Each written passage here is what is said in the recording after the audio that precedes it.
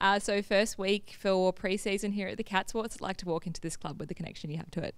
Yeah, I'm stoked. Like I think I've said that a million times. I think walking in here, you know, I saw this ground when you know you could stand. So for me to go out on that ground and see the big, you know, big lights and all the big grandstand around, it's pretty cool. So I'm very, very lucky and very fortunate to be at the Cats.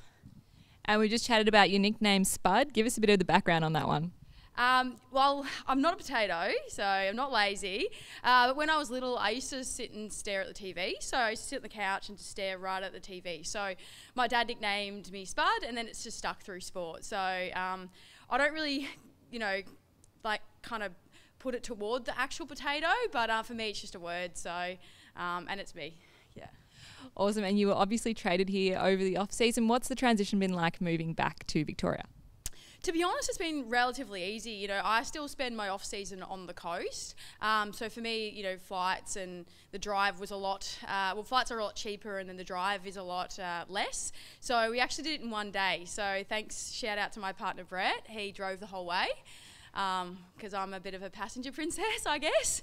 Um, but yeah, no, um, it's probably been seamlessly, and like you know, the staff here are awesome, and the girls have been great. Like I just can't believe how welcoming they've been, and I already I've been here I think two weeks, and I already feel a part of the group. And you've said you've just been to a couple of the games over the last couple of weeks. What's that been ex- experience been like getting immersed in the club? Uh, well, unfortunately, we haven't won any of the games that I've been to, so that's a that's that sucks.